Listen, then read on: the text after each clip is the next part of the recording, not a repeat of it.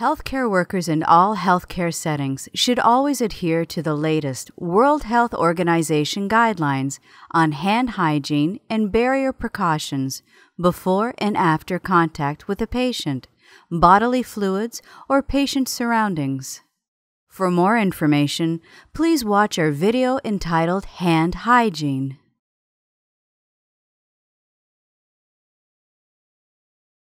NICU to Nursery Gastrostomy Tube Care by Denise Casey. General Principles of G tubes. Two commonly used gastrostomy tubes, also called G tubes in pediatric patients, include the AMT and MIC-KEY. Despite some design differences, the purpose, care, and function of these G tubes are very similar. G tubes are placed into the child's stomach through an opening called a stoma. It's used when the child is unable to tolerate feeds or medicines by mouth. The G tube is stabilized within the stomach via a water filled balloon, and the external base rests on the surface of the skin over the stomach. The G tube diameter, length, and balloon fill volume frequently appear on the external base of the tube as shown in this figure. However, not all tubes are marked in the same fashion. For example, this MIC-KEY G-tube displays only the diameter and tube length. This is a 12 French G-tube and it is 1.5 centimeters in length. The letters BAL indicate the balloon port. However, the balloon volume does not appear on the external base. The balloon volume is determined by the surgeon with initial placement and can be adjusted based on consultation with the child's gastroenterologist or surgeon. Most G tubes connect to their extension set for delivery of medication and nutrients in a similar manner.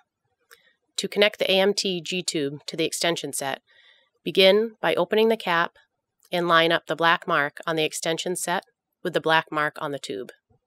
Gently press the extension set into place. You will feel a click. Turn the extension set in the direction of the arrow to lock it in place. It is recommended that extension sets be disconnected from the G-tube when not in use. To disconnect the extension set from the G-tube, turn the extension set in the opposite direction, reverse, of the arrow and line up the black marks again.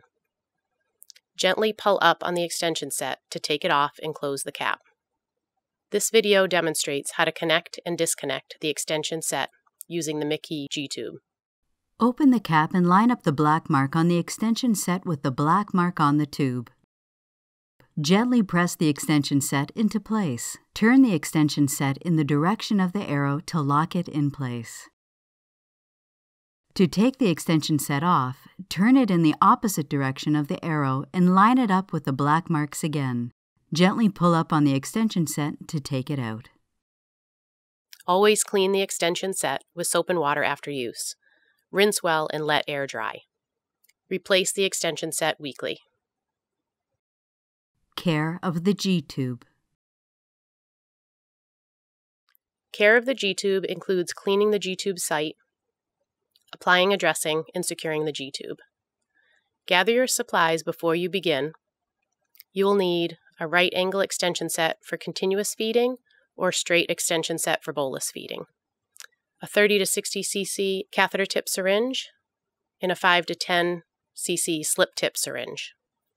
Soap and water for cleaning the equipment, bottled water or sterile water to fill the balloon, and tape for securing the tube, and an absorbent or gauze dressing if needed.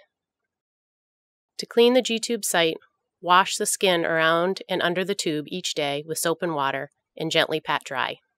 Try not to move the tube around too much because the opening may become stretched, causing stomach juices to leak out and irritate the skin. While cleaning the site, assess for redness or signs of infection. The area around the G tube may be a little pink. This is normal. If the skin is red, warm to touch, has a pustule, green or yellow drainage, or odor, these findings should be brought to the attention of the gastroenterologist or surgeon as these signs may be indicative of an infection. After the site is cleaned, rotate the tube a quarter turn daily to prevent skin irritation from the tube staying in the same position. Make sure the tube rests lightly on the skin surface or dressing. There should be a thin, dime sized space between the tube and surface of the skin or dressing. Use a gauze pad or absorbent dressing around the tube only if there is fluid leaking out and irritating the skin. Change the dressing at least daily or more often if it gets wet. Stabilizing the G tube and extension set. If the child has a newly placed G tube, it must be secured to the skin surface with tape for at least the first six weeks. It is recommended to continue stabilization for active children and children who seem to pull at the tube. To stabilize the G tube, open the cap, place a piece of tape across the arm of the plug. The second piece of tape goes over the balloon port, making sure you are still able to put a syringe on the balloon port, and then close the plug. The third and fourth pieces of tape go onto each side, overlapping the other pieces of tape and getting as close to the tube as possible. The tape is applied in a tic tac toe pattern, making sure that the tube is securely taped to the skin surface. To stabilize the extension set, use a piece of tape or a securement device to secure the extension set to the surface of the skin on the child's abdomen. This will help prevent it from being inadvertently pulled, resulting in injury to the G tube site. Checking the water in the balloon. Make sure the prescribed amount of water remains in the balloon by checking it weekly. Prior to checking the balloon, ensure the G tube is taped securely to the abdomen. To check the balloon, attach a 5 to 10 ml slip tip syringe to the balloon port. While holding the tube in place with one hand, gently pull back on the syringe and aspirate the water from the balloon. Observe the color and volume of the water. The water should be clear and the volume should be the prescribed amount. Once the clarity and volume is confirmed, gently push the water back into the balloon through the balloon port. To remove the syringe from the port, continue to stabilize the tube, press on the end of the syringe, and gently pull the syringe tip out of the balloon port.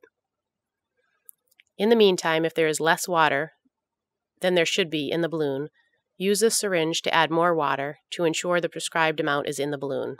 Only use bottled or sterile water to fill the balloon. Never fill the balloon with air or saline. If the water in the balloon is not clear, replace it with new water. If there is less water in the balloon than prescribed, or if the water is discolored, there may be a problem with the balloon. Call the child's gastroenterologist or surgeon. If you cannot get the water out of the balloon, take the syringe off and make sure nothing is clogging the port. Try taking the water out of the balloon again. If you still cannot get the water out, call your child's gastroenterologist or surgeon. Management of a dislodged or clogged G tube. Criteria to replace the G tube includes every three to four months or sooner if fluid is leaking from the middle of the G tube. This may mean the G tube's one way valve is worn down when water is missing from the balloon after two weekly balloon checks, when measures to unclog the tube are not successful, or dislodgement, the tube falls out. What to do if the G tube is clogged.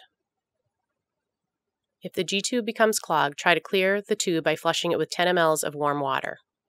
Use a pulsing start stop motion to flush the tube. Call the child's gastroenterologist or surgeon if you cannot unclog the tube.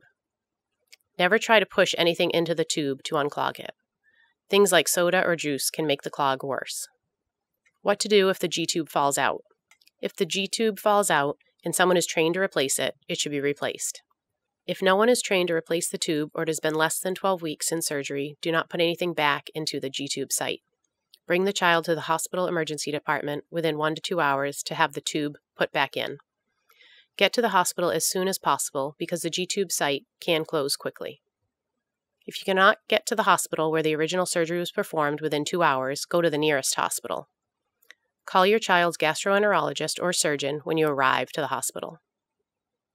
Thank you for watching this video on the care and maintenance of gastrostomy tubes. Please help us improve the content by providing us with some feedback.